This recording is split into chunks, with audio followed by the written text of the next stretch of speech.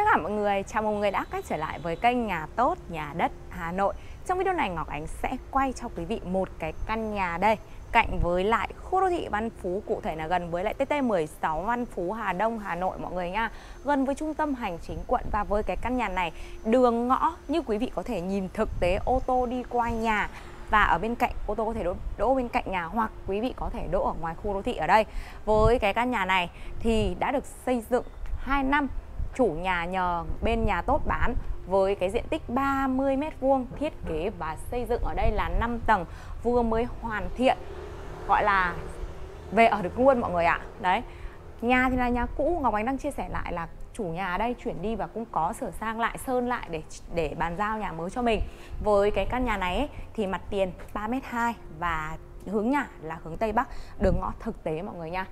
Quan trọng nhất nó là cái vị trí của bất động sản. Thì Ngọc Ánh chia sẻ với cái căn nhà này ấy, gần với lại trung tâm hành chính quận, gần với lại chợ Hà Đông, nói chung với cái vị trí đi lại giao thông cực kỳ thuận tiện cho một ngôi nhà đường ngõ ô tô như thế này. Và ngõ đi vào thì là ngõ thông mọi người ạ. Và đây chính là khu đô thị Văn Phú. Mời người theo em vào khám phá cụ thể ngôi nhà. Với cái căn nhà này ấy, thì phần cửa chính được thiết kế hai lớp, bên ngoài là cửa sắt sơn tĩnh điện, bên trong là cửa gỗ kính. Thiết kế cũng khá là đơn giản. Tuy nhiên thì cái công năng mọi người ạ đáp ứng cho quý vị đầy đủ cái công năng sử dụng sổ đỏ đầy đủ bàn giao nhà luôn nhà không bị lỗi bất kỳ một cái lỗi phong thủy nào nha mọi người với ờ, phần hoàn thiện của ngôi nhà gạch lát nền kích thước gạch 60 60 hiện tại Ngọc Ánh đang đứng ở đây là cái phần phòng khách của ngôi nhà.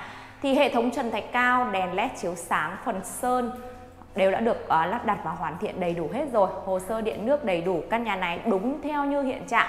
Quý vị có thể dọn đồ về và ở ngay từ cái vị trí này mà đi ra trung tâm hành chính quận thì nó chỉ khoảng tầm 800 mét thôi. Và đây là cái phần phòng bếp mọi người nha với cái phần phòng bếp này thì ở đây à, tủ gỗ là thiết kế tủ gỗ sồi nga. Xung quanh bếp thì là à, ốp kính ốp bếp mặt à, bếp thì ốp đá granite. Phụ kiện bếp bếp đều được lắp đặt đầy đủ hết rồi. Nói chung là cái căn nhà này quý vị dọn đồ về ở được luôn giá chào bán hiện tại. Của cái căn nhà này là 4 tỷ 500 triệu đồng. Ba toàn bộ phí thuế sang tên có hỗ trợ vay vốn ngân hàng với quý vị nào có nhu cầu. Với cái căn nhà này quý vị có thể vay tối đa khoảng tầm 2 tỷ rưỡi đến 2 tỷ 7 phần à, tiền ngân hàng mọi người ạ. Còn phần còn lại thì quý vị có thể uh, uh, chi trả trước cái phần tiền mặt nha.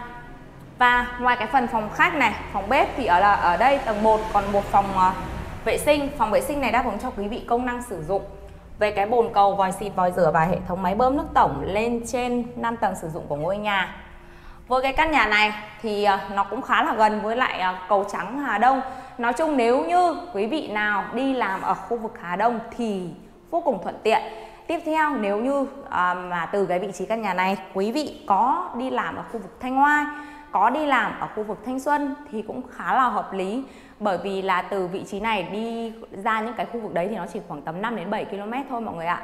Và Mời người theo em lên khám phá các tầng phía trên của ngôi nhà xem ngôi nhà này thiết kế ra sao trước khi lên à, cái phần phía trên ý thì ở đây toàn bộ hệ thống tay vịn cầu thang từ tầng 1 cho tới lên tầng 5 thiết kế là gỗ mặt bậc của bậc cầu thang ốp đá đen cổ trắng và Ngọc đã review chi tiết cụ thể đường, hướng, giá, vị trí của cái căn nhà này rồi. Mời người theo em lên tham khảo các phần trên của ngôi nhà.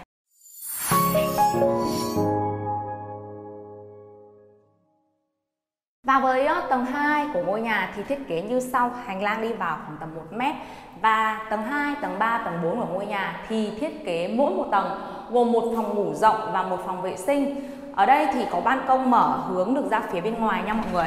Đó. Rất là mát. Hướng nhà Tây Bắc quan trọng nhất ý, Ngọc Ánh đã chia sẻ trong những cái video trước cho mọi người. Nó là cái vị trí bất động sản nó quyết định lên cái ờ, giá thành mọi người ạ và cái căn nhà này để mà nói với cái vị trí của nó thì nó không khác gì ở trong khu đô thị luôn. Gần như là cạnh sát với lại khu đô thị rồi. Và với đây là phần phòng ngủ của ngôi nhà. Này ở đây nó có một chiếc uh, tủ quần áo. Để mọi người có thể nhìn thấy thực tế luôn. Nói chung nhà ấy thì Ngọc Ánh sẽ quay theo hiện trạng. Mọi người ạ quay theo hiện trạng nhà có như thế nào thì uh, em sẽ review cho quý vị như vậy ở trên phía tầng 2 của ngôi nhà thì không thiết kế trần thạch cao nha mọi người mà thiết kế trần thường thôi cho nên nhìn nó cũng rất là cao này. Và cái cửa thông phòng thì thiết kế là cửa gỗ. Đấy. ở đây thì đã có tủ quần áo rồi cho nên quý vị về chỉ có thể uh, kê thêm một chiếc giường nữa thôi thì cái căn phòng này cũng còn khá là rộng vuông vắn để uh, quý vị có thể kê thêm đồ. Đây là phòng vệ sinh ở phía tầng 2 phòng vệ sinh này thì đáp ứng cho quý vị công năng sử dụng bồn cầu hệ thống sen tắm này uh, lavabo bàn đá quạt hút mùi và cửa thông phòng uh, cửa của nhà vệ sinh mình thiết kế là cửa nhôm hệ Việt Pháp Mời quý theo em lên khám phá tầng 3, tầng 4 của ngôi nhà nhé. Với cái căn nhà 30m vuông xây 5 tầng thì tầng 2, tầng 3 và tầng 4 của ngôi nhà thiết kế mỗi một tầng gồm một phòng ngủ rộng và một phòng vệ sinh ở phía bên ngoài. Đây là ở trên tầng 3 của ngôi nhà mọi người nha. Và tầng 4 của ngôi nhà thì thiết kế cũng y hệt như vậy. Ở trên phía tầng 3 này thì không thiết kế tủ, cho nên mọi người có thể nhìn thấy ở đây. Cái phần này quý vị sau này nếu như quý vị có về ở thì quý vị lắp thêm một chiếc tủ nhỏ nhắn xinh xắn vào đây là vô cùng hợp lý. Đấy. Điều hòa đây mọi người này. Ống chờ dây chờ áp chờ điều hòa. Được lắp đặt đầy đủ với cái căn nhà này, cửa sổ thông thoáng. Ngập tràn ánh sáng cũng như không khí vào trong không gian ngôi cái căn phòng này. Đây là phòng vệ sinh ở tầng 3 Nói chung phòng nào cũng có đầy đủ những cái công năng sử dụng cho quý vị theo từng tầng nên mọi người cứ yên tâm. Với những cái hiện trạng quan trọng nhất là sổ sách giấy tờ pháp lý chuẩn chỉnh này à, nhà cửa xây lên thì thực tế như thế này mọi người đến xem nó là y như vậy và như vậy thì cái căn nhà này 5 tầng là có 3 phòng ngủ riêng biệt tầng 2, tầng 3 và tầng 4. Vậy thì tầng 5 của ngôi nhà, tầng còn lại thiết kế ra sao? Mời mọi người đừng rời mắt khỏi video nhé. Và đây là phần tầng 5 của ngôi nhà nha quý vị. Ở trên tầng 5 này thì có một cái ờ, ô giếng trời để lấy toàn bộ ánh sáng xuống khu vực tầng 5 uh, ờ, của 5 tầng và tầng 5 của ngôi nhà thì đây mọi người theo em. Wow, một sân phơi vô cùng là rộng nha quý vị.